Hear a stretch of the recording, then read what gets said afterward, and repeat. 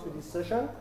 Here is an, a talk about Digidem Lab, bringing together hackers and activists for social change by Petter Josse.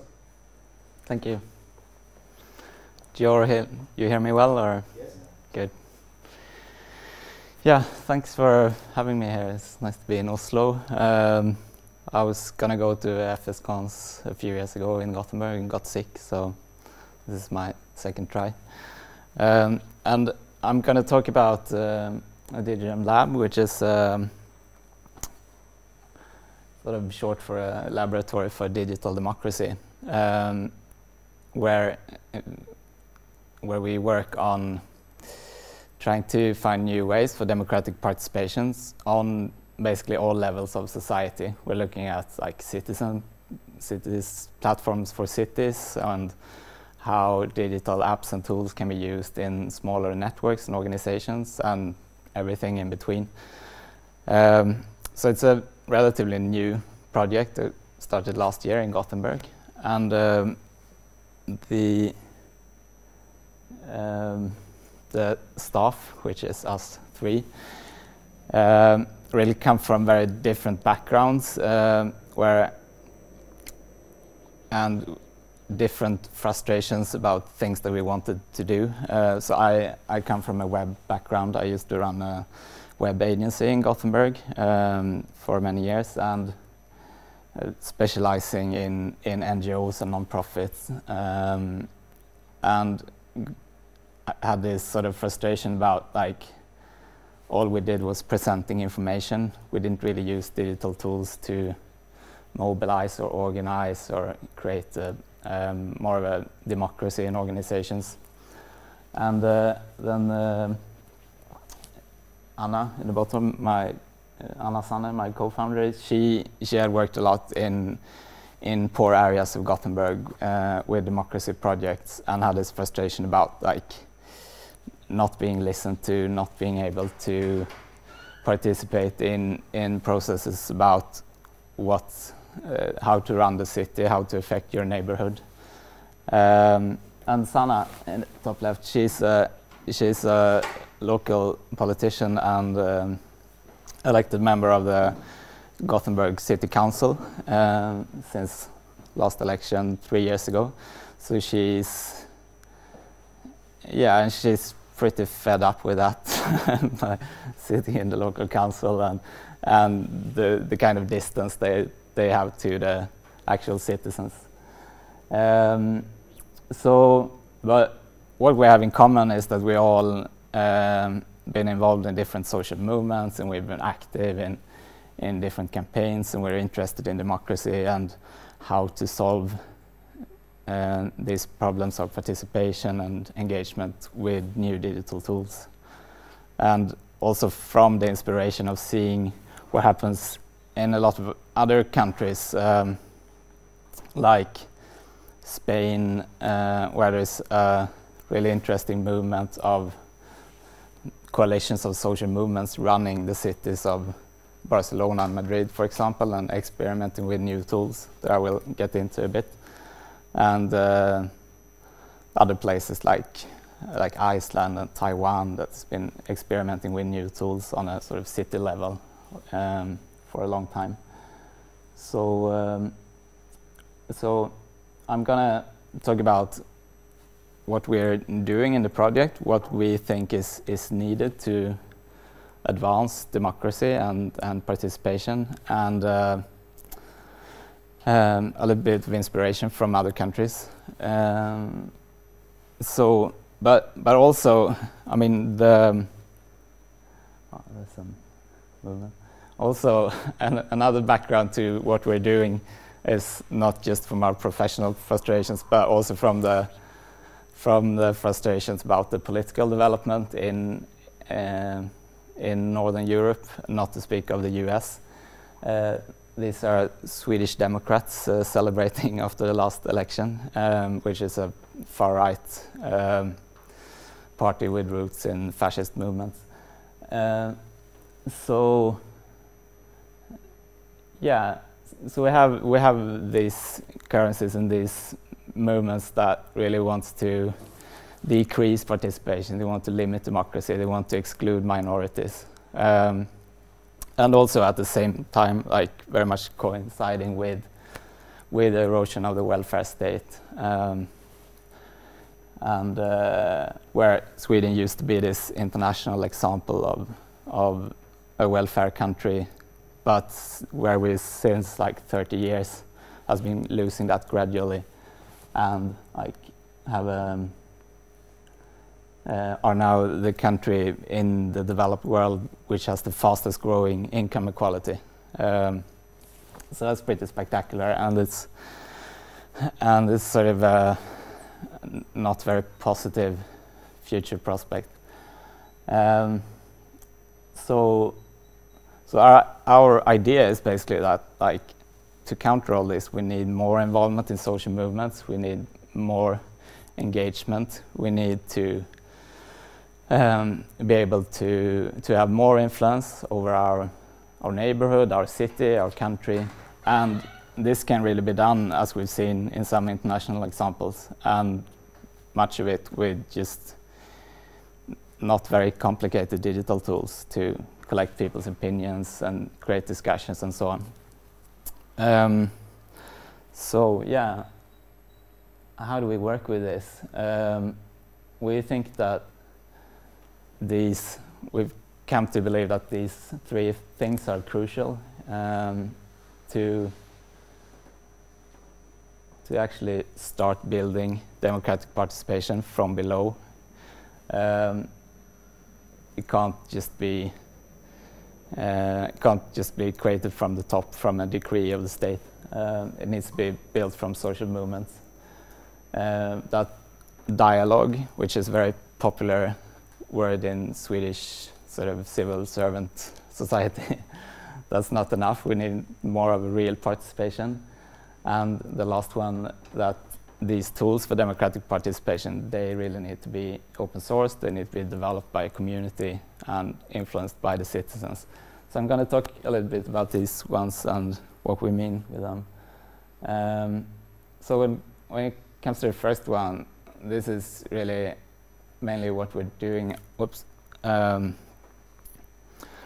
our main work is, is mentoring young people in different projects about participation. Um, and we have this this uh, funding where we can fund people who who live in Sweden and are under 26. So if that applies to any of you, we have some money that we're kind of free to spend on different projects. Um, so these projects can be about like trying out the tool for participation, like um, Loomio, which is a meeting tool, or like testing Nextcloud in your organization, oh, um, uh, researching tools, or just like playing around with new technology. Um, and also, we're uh, being a resource center for social movements, giving workshops and and um, teaching them about new technology. Um, and generally just giving workshops and talks about what's um, about these things and also like since this year there is an interesting movement in, in Sweden for uh, municipalism. I, I, don't know if you're aware of that term. Um, it's inspired by by these cities in Spain, cities in Spain where they've been, uh, where like social movements have formed political parties to run for uh, for the local city councils and are now running the four biggest cities in Spain: uh, Barcelona, Madrid, Valencia, Zaragoza. Uh, so these are representatives from from Barcelona who came to a conference, Demokratisering och rörelse, um, Democratization and Movement, in Gothenburg in May. And there have been a similar conference in Stockholm, and there's going to be one in Jönköping in, in spring. Uh, so there's an interesting discussion about this, like how basically how to do local politics in a different way that's not so dependent on the old party structures, um, but can be done in a more horizontal way and in a more engaged way. And also these these movements, there are uh, city movements which are sort of close to the Podemos party in Spain, have been experimenting a lot with different platforms for participation, for discuss discussions online, for voting, and all these kind of things. Um, so, so there's really lots of ex interesting experiences now coming out of Spain. And uh, so yeah, and another thing we've been doing is just like documenting some of the apps and platforms for participation in this DemoCat site, which is really for um, non-tech people to get into how to use some of these tools in an easy way. Um, so, and like the last thing that we're now that we're planning for for next year is to have local hackathons to um, to work on these things and to to explore these platforms and see how we can improve and adapt them to local conditions. Also, because we really find that there's like um, we work in in participation, but there are different non-profit organizations in, in the Gothenburg area which work with like sustainability, ride sharing, like um, sharing free stuff or whatever. And uh, so we kind of want to build, build a, a, community around all these things where, um, where which are like non-profit projects for the common good um, and have basically much the same needs of, of building a lasting community of developers and, and designers and others uh, who are interested in contributing.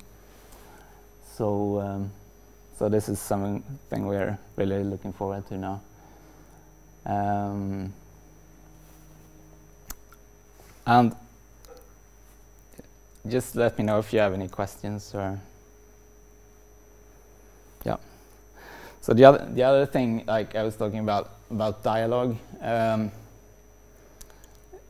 it's uh, yeah, this is it, it's kind of been surprising us that there, has been a um, a push for citizen dialogues in Sweden for for 15 years, and and um, Swedish municipalities are actually they're doing a quite good job, but there's there's something that we're really uncomfortable about. it's their view of participation, which is this model that they often use of, um, the participation ladder, um, where you have like different steps. You can go up the ladder with more and more participation from just getting information to consulting to dialogue to influence and to co-decide.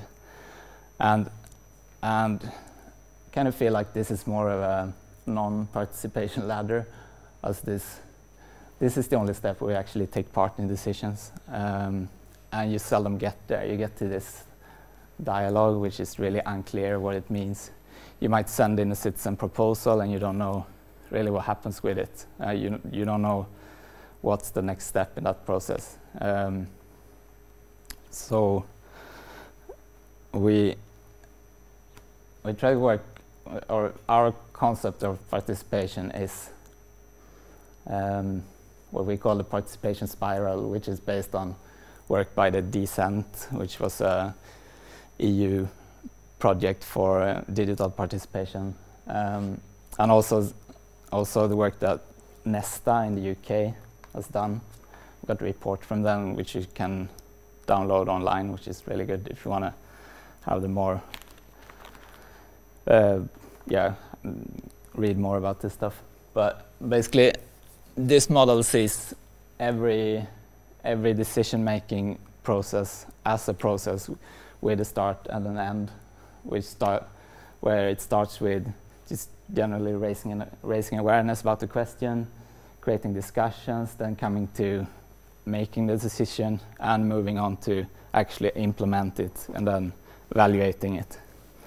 And, and for sort of public processes like cities and so on, I mean, this can be used on, on any group taking a decision basically, but like, especially when you do it as a citizen in a city or in a country, it's really, it's kind of important to know where you con contribute in the process. Um, and uh, um, sometimes it's all right to not be a part of the decision making if you know that from the start and if your role is to really create discussion and contribute with ideas. Like Taiwan is doing lots of work now with digital participation where they they focus a lot on just like bringing in lots of ideas from citizens and uh, and having those ideas as a basis for new legislation. Um, they're using a, a, tool that's called Polis that we write about in this Democrat guide, which is really cool for just like gathering gathering opinions from basically millions of people and seeing the what are the main points that people are making, what are the main opinion groups.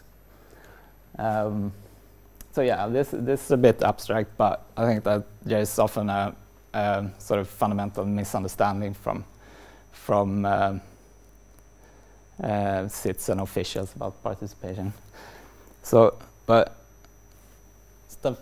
things that we think are really interesting is like when you have processes of in cities with actual participation, actual decision making. Um, this is this is a screenshot from the citizen platform that Madrid are using um, to make a participatory budget, which means that you can uh, you can post a proposal to the site, and then in the next round you vote for proposals, and the proposals with the most votes get money from this like pot, this um, this fund uh, that's been set aside for for the budget.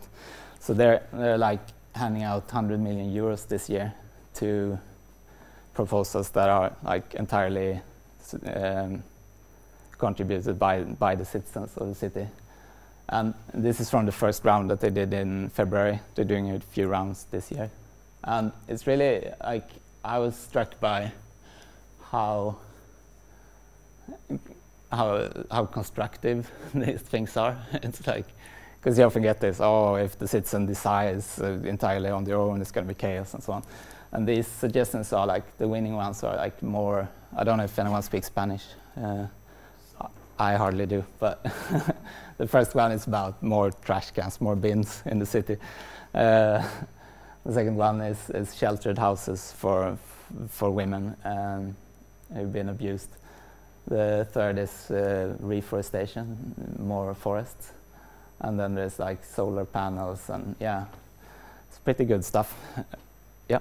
Doesn't the UK also have something like that, like a voting thing to have topics taken up in their parliament?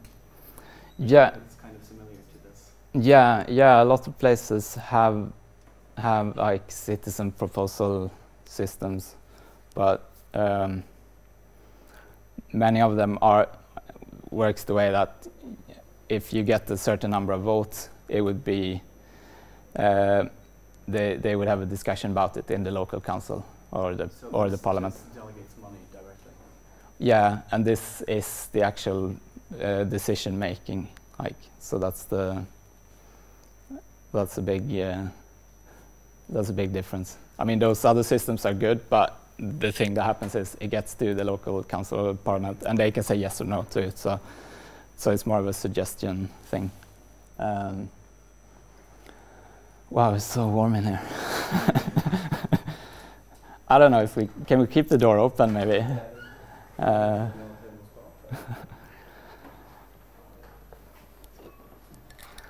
didn't expect Oslo to be this warm. yeah. Yeah. Yeah, we walked in and it just hit me. yeah.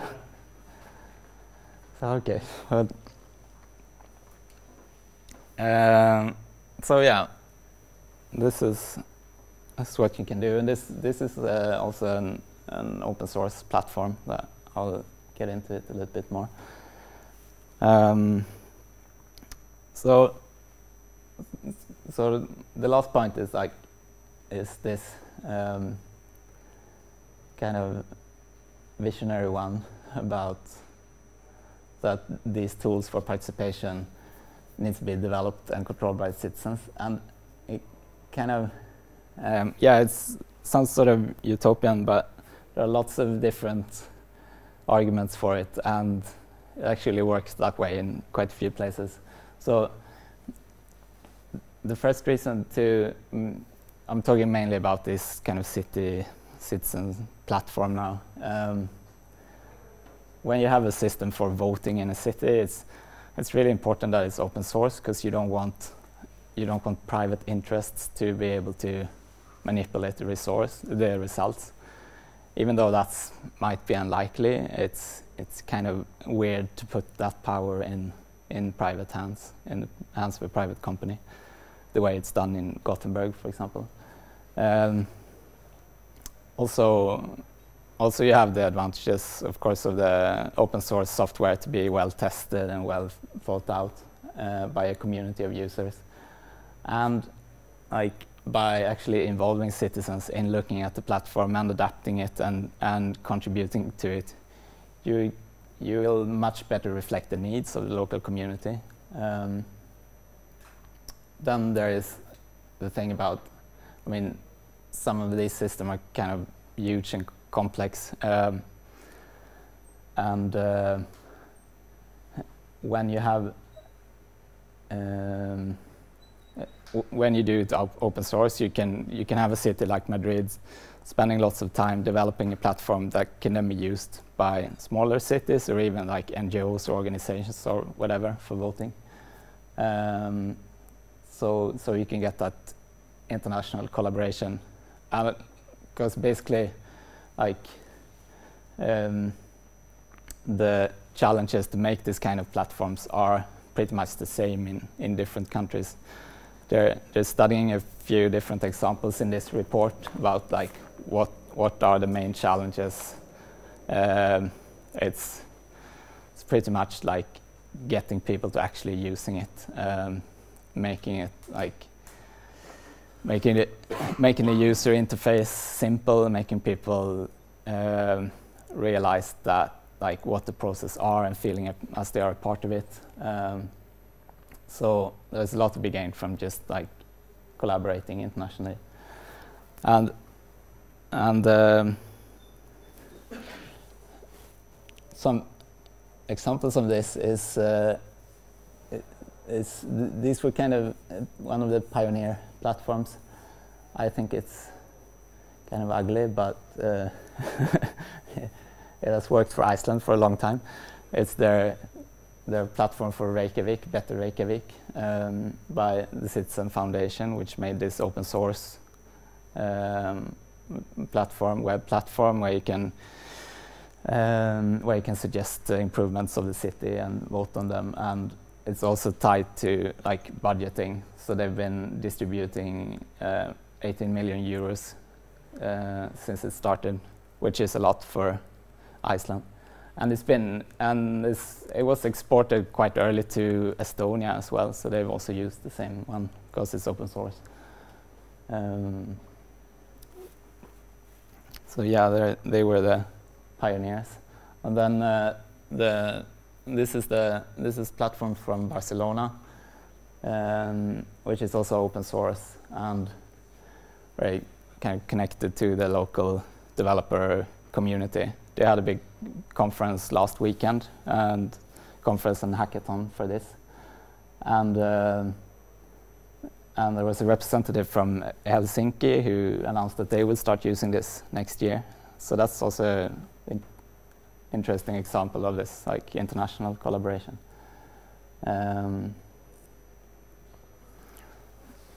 and and then um, we have the the um, the one that Madrid is using. The the screenshot from before was from. Um, it's called Consul, and uh, this. Uh, and uh, tomorrow night I'm going to go to Madrid and be there for two weeks at the hackathon working on this platform. Um, and it's very much connected to there, there's a, like a digital cultural house in Madrid called Media Lab Prado, uh, which is a super interesting place that I think you should check out if you if you're in Madrid. Um, they do lots of they have lots of like hacker groups or maker spaces and whatever, and they also do these two weeks hackathons where you work on uh, projects for the community or for uh, yeah like socially um, about sustainability, about collective intelligence, about participation. So they've been very much like instrumental in making the, the actual platform Consul well used and well tested and and uh, adapted to the local needs. Um, so so that's a, so I think that's a really fascinating model of having a sort of hackerspace contributing to the way that actually the city is run. Like, um, and um, yeah, they're also gonna have like they're having a long event now where they have this two weeks hackathon, which have different projects. It's not just the Consul project, but a few different ones too. And then there's a Consul con in a couple of weeks. Um, so if you're into Ruby on Rails or like citizen participation, I recommend going there. Um, um, it's yeah, it's also a, a, our the thing we will do in the lab is basically about making this Consul platform a bit more accessible. It's kind of really nice when you have it installed and everything is set up, but it's hard to try out if you're not a citizen of Madrid. Uh, it's not just Madrid, it's being used in about 30 Spanish cities. Um, but they don't have a demo version, they have very little documentation. Um, so it's kind of hard to it's kind of hard to get started with or see see what you can do with it. So what we're gonna work on is like basically um, write documentation, set up a demo version, make some present it a bit more accessible. Because um, I think it can be used for um, not just cities, but basically other kind of budgets or proposal processes. Like it's um, um, the Momentum movement in the UK, which is the sort of support movement for Jeremy Corbyn. They used it for their annual meeting uh, a few months ago and only used the sort of proposal part of it. Um, and it was also used in Paris for a participatory budget for the social housing um, association for, for the city. Um, so yeah, so it can be used for a lot of different things. Um, and it can be translated to more languages and so on. So um, um, just to wrap up a bit, like um, all of these things kind of the kind of need us as with our different skills to contribute quite a lot to these processes. And uh, I mean, not all cities have that kind of advantage to have a, a city council that's really supportive and, and interested in experiencing with new things. But building these things from below is something that we all can contrib contribute with.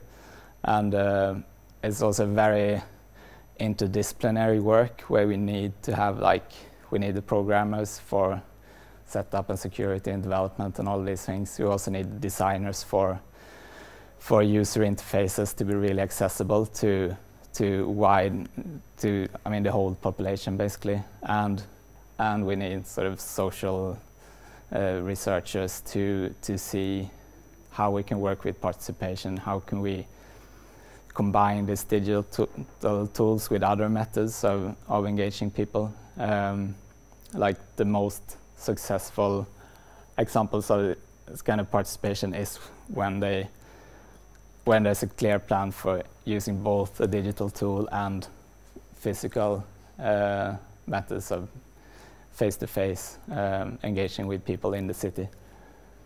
So, so it's it's it's um, interdisciplinary and really fascinating field, and uh, and uh, yeah, we need you.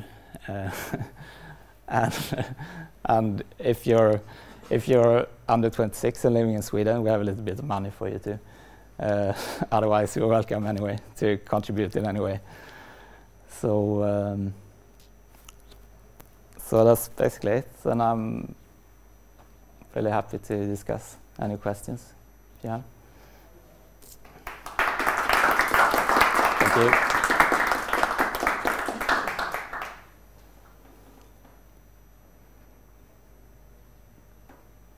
Yeah. How do you get new countries to implement systems like these? Um, There are existing systems, but I can't imagine setting them up and making them be taken and used as easy. yeah. Yeah, that's the hard one. I mean, There's a lot of paperwork and, and um, bureaucracy. Yeah. Like many of the places that have the most advanced systems now are places where they had like quite dramatic political crisis or economic crisis. Um, uh, like in Iceland, it came out of the crash, the, the banks crashing down, and, and it was a like completely new part. This um, party started called the, the Best Party uh, that was headed by a comedian who used to go to like press conferences dressed in drag. Uh, so, so he's kind of this eccentric person, and he brought in the Better Reykjavik platform, and uh, like same in Taiwan where they experiment a lot came came out of the student movement called uh, the Sunflower Revolution, like in 2012, and uh, yeah, Spain obviously from it's been coming from the protests in 2011 after the economic crisis. So, so yeah, it's it's uh, and it's something that we discuss a lot. Like, how do you how do you make this happen without uh, um this kind of economic crisis? Um, it's interesting though in, in Finland and Helsinki whether they are pretty advanced and gonna do they're gonna do um, a participatory budget next year where you can vote if you're 13 and up. Um, so that's kind of cool. The thing is that projects like these require quality assurance, uh, lots of certifications and other things too. Yeah, but as I mean, as we see it, it kind of works in places like and in big cities too. So yeah. Uh, how do you fund uh, projects like these? Um, our project is funded by by this uh, Swedish inheritance fund, or I used to call it like the Lonely Millionaires Fund. it's where, it's where uh, uh, money from people who don't have any inherit anyone to inherit their money goes into this fund where you can apply to work with uh, projects with young people. So that's where we get funding for three years. So we're totally independent, really. But uh, like more generally, um, like projects that want to uh, have uh, more digital democracy. Mm. In general, uh, wouldn't it be uh, uh, good to organize some sort of collective funding for development of these projects? Yeah, that would be really good. And also, I mean, one challenge is for us is that we want people to to control their own data and not use go Google services and so on. Use Nextcloud, for example, instead. But then you need you need ho- hosting and you need expertise uh, in in hosting and so on. So it would be yeah, some kind of pooling resources would be really good for networks and organizations.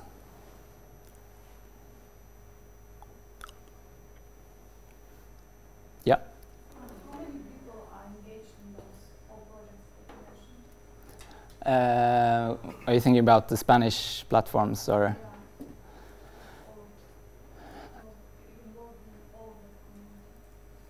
Um, yeah, I mean, like for developing them or?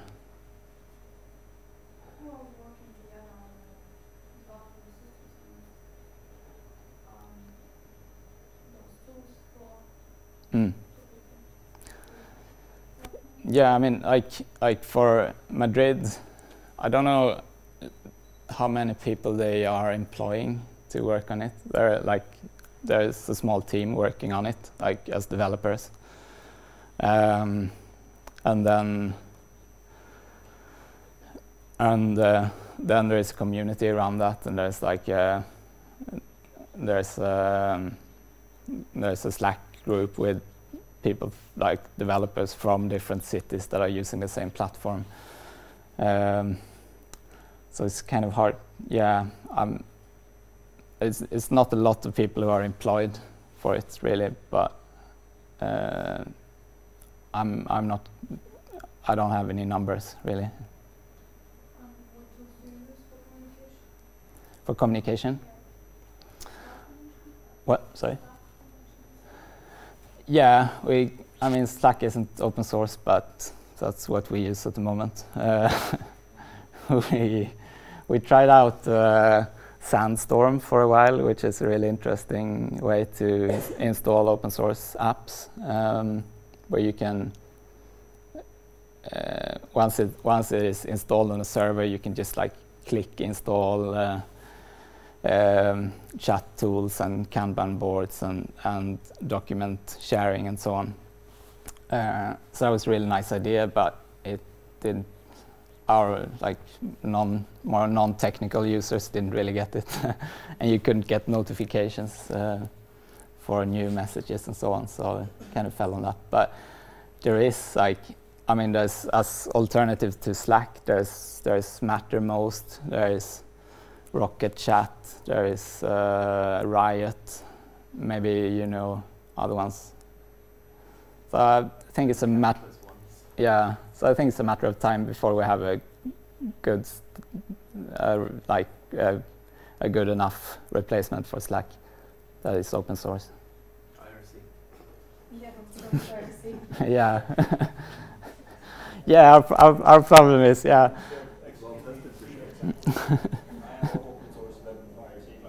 Yeah, yeah. I know it's great for developers, and I, I mean, when I used to, when I worked at the agency, it was a different story. Of just like you can use any tool, people are gonna get it. Like, but when we work with activist networks where there are lots of people, there might be lots of people coming and going, like being there for a while, doing it on their free time, uh, not being very technical. Uh, and it just has to be like super easy for them to get started. So so that's a that's a challenge, and it's it's always this. Yeah, I mean it's you always get to choose a little bit between. Uh, we're trying to push for the open source solutions and for the like secure solutions as much as possible, but there's no point if people don't use it. So. um, Okay, thank you. Thank you.